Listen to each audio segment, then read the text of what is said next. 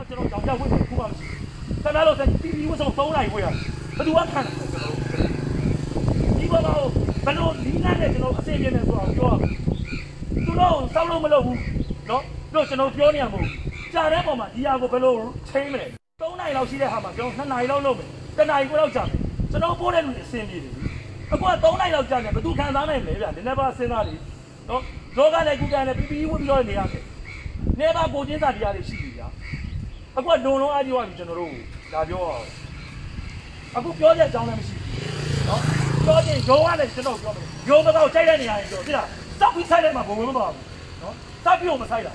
ကြိုက်တဲ့ရုံးရင်လာပြောနော်ကျွန်တော်လုံးနေကျွန်တော်သိလို့နော်စောက်ဖို့လာပြောနေတယ်ကိုဘိုးရဲ့အခက်ခဲရဘယ်လိုဖြစ်တာလဲကိုဘိုးရဲ့ကဲကဲဘယ်လိုပြလဲဆိုကျွန်တော်မနေ့ကဖြစ်တယ်လူနာတွေကျွန်တော် live ကိုင်နေတယ်လူနာတစ်ခါပို့ရင် PPE ဝင်3နိုင်တော့ကြာကြာတဲ့ပုံမှာ ဒီဟာကိုဘယ်လိုချင်းလုပ်မလဲ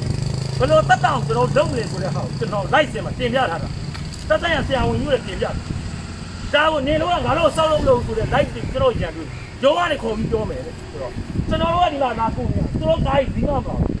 လက်ကြီး COVID-19 ကိုပယ်မဲ့ကမော်လမြိုင်မှာဒီမှာမရှိဘူးသေရောပါနော်အစိုးရမှလည်းမရှိဘူးသေးရမှလည်းမရှိဘူးဒါကိုကျွန်တော်တို့ယူရဲပွဲစီကူညီပေးတယ်မနေ့ကပြည်တော်စုဝင်ကြီးလာတော့လည်းပြောပြီးပြီကျွန်တော်တို့လူမွေးကားတွေနဲ့တဲ့ပေးနေလို့မော်လမြိုင်တက်တာနေတာ မှန်မှန်ဆိုတော့ဘယ်လူနာတန်ရလူနာပြည့်စေးရောကလူနာတင်ကားနဲ့သွားချော်ရမယ်ဆိုတာမှုရှိပြီလားနော်ဒီပေါ်မှာသူတို့ရဲ့ပြည်လဲပါသေးတော့ကျွန်တော်တို့ကျွန်တော်လူနာပေါ့တာ9ယောက်ရှိပါပြီတခါပေါ့အနည်းဆုံး2နာရီခွဲကြာကျွန်တော်တို့တွေသေသွားမှာပေါ့ဒီဗီဒီယိုဆုံးတယ်